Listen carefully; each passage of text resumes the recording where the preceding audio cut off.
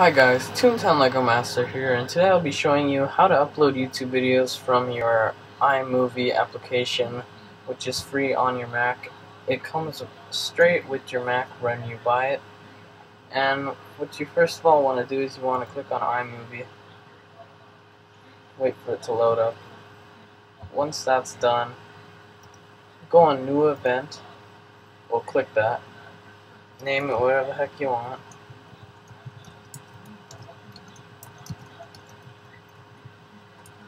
Yeah. And then make a new project. Test.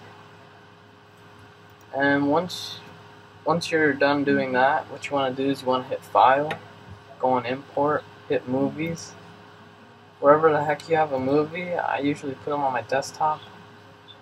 I click it, and then it ends up going here. And once you've clicked on the movie you want, hit Import, I'm not going to import anything right now. But what you want to do, for example, like since I have videos right here, what you would do is you want to just make this yellow thing very long, drag whatever the heck you want into here.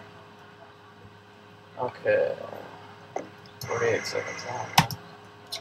And then you want to hit share, hit YouTube, type in your password, um, yeah, exactly.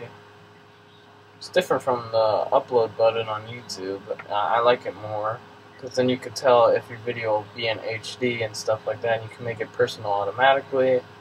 This is just a lot more easier, and then you could add even more YouTube users onto it if you've got like a family that makes YouTube videos, which I don't really know a lot of people that make videos that have family, like a big family that uses a YouTube account. But anyway, once that's done, you want to type in your password and stuff, hit next. Wait, I think I'll type in my actual password.